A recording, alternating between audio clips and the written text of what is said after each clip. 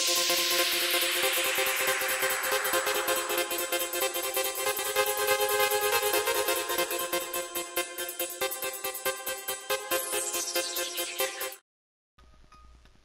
everybody, this is Bloody Hatchetz coming to you with another vehicle tutorial. This one will be on a go-kart.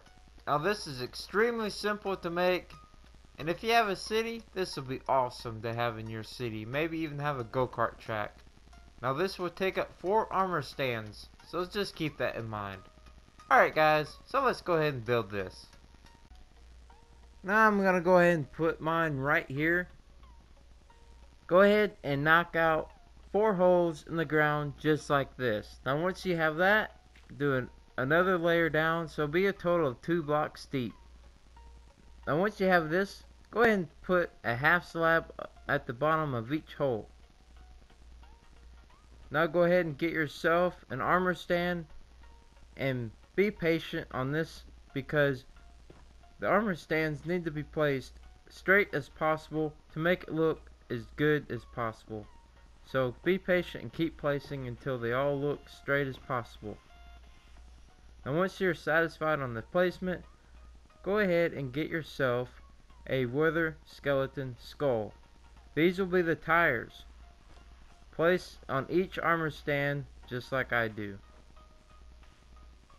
Alright, now go ahead and get a regular piston and place the piston in the ground just like this.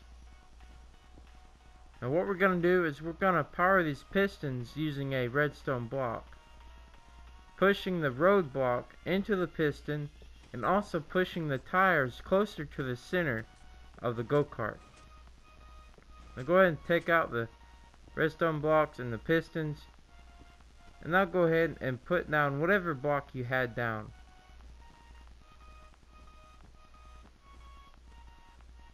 Alright, now go ahead and get your half slab and place right here for the front.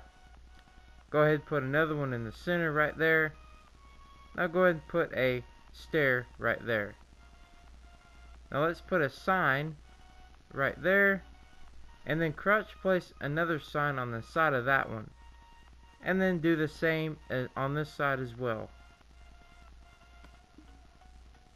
Now lastly, let's go ahead and put a item frame right here. I hope that you all enjoyed this tutorial. If you did, don't forget to hit that like button and let me know down below what you think of this. Thank you so much for watching guys, and I'll see you all next time.